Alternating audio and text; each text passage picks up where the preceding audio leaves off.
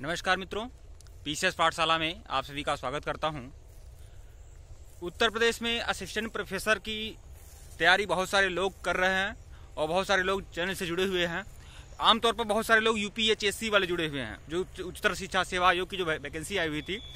917 vacancy थी 980 हो गई और अब वैकेंसी अब उसमें पद बहुत ज़्यादा जुड़ते जा रहे हैं और पदों की संख्या हज़ार से भी अधिक हो चुकी है। कुल मिलाकर 1020 या 1030 समथिंग पद हैं, पद हो चुके हैं यूपीएचएससी में। तो सबसे बड़ी खुशखबरी आप सभी लोग के लिए, और उच्चतर शिक्षा सेवा आयोग की जो वैकेंसी है असिस्टेंट प्रोफेसर की, सौ क्वेश्चन आते हैं, तीस प्रश्न जो होगा वो आपका जीएस का होता है, और सत्तर प्रश्न जो होते हैं वो आपके अपने सब्जेक्ट से होते हैं।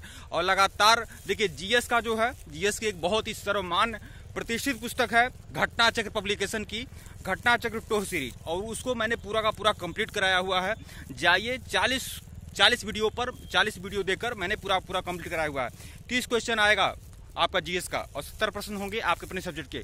घटनाचक्र की सीरीज़ में कुल बीस प्रैक्टिस सेट है मतलब तीस तीस क्वेश्चन करके। मैं तो मैंने पंद्रह पंद्रह क्वेश्चन करके मैंने प्रैक्टिस सेट सॉल्व करवाया है कुल मिलाकर चालीस वीडियो में। मैंने चालीस प्रैक्टिस सेट देकर पूरी पूरी बुक कंप्लीट करा दी है। तो प्लेलिस्ट में जाइएगा, Ghatnachakra assistant UPHSC assistant professor Ghatnachakra to series के नाम से प्लेलिस्ट बनी हुई है। प्लेलिस्ट में जाइएगा और सभी वीडियो को देखिएगा।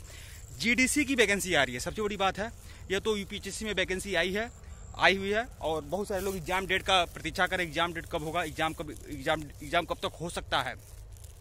तो आप जो आप लोगों की जानकारी बता दें एग्ज़ाम आपका फरवरी तक जा सकता है। दिसंबर जनवरी नहीं, अब फरवरी तक मानिए, फरवरी तक चला जाएगा, लेकिन पूरी तरह से जो पूरी भर्ती प्रक्रिया है ये आपका जुलाई तक पूरी पूरी भर्ती प्रक्रिया आपका संपन्न हो जाएगी। तो आप लोग ज़्यादा प्रेशर मत लीजिए।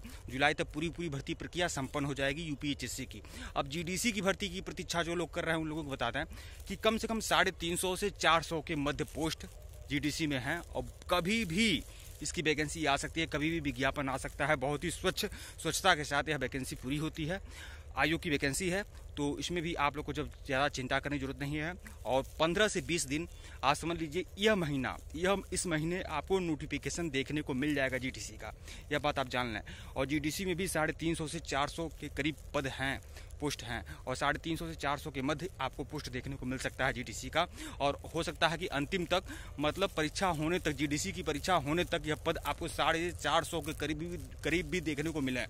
तो सिलेबस कुल मिलाकर सामान है, उसमें भी जीएस आएगा। उसमें भी जीडीसी में भी आपका कुछ प्रश्न आपके जीएस के होंगे और कुछ प्रश्न जो होंगे वो आपके अपने सब्जेक्ट से होंगे। तो आप लोग को ज़्यादा जीडीसी या यूपीएससी में ज़्यादा कन्फ्यूज़न होने की आवश्यकता नहीं आवश्यकता नहीं है। बस 18 बीस का अंतर रहेगा। मतलब अपनी तैयारी आप यूपीएचएससी का और जीडीसी का दोनों की तैयारी आप साथ ही साथ ही साथ कर सकते हैं। और दोनों वैकेंसियाँ आपकी छः से सात महीने के अंदर भर्ती प्रक्रिया पूरी संपन्न होगी। यह बात आप जान लें। तो ठीक है मित्रों, वीडियो को लाइक और चैनल को सब्सक्राइब करेगा और यूपी एचएससी और और जीडीसी के लिए एक टेलीग्राम बनाया हूँ। लिंक डिस्क्रिप्शन में है। ओली जीएस के नाम से उस टेलीग्राम को बिल्कुल ज्वाइन करिएगा। धन्यवाद आप लोग को।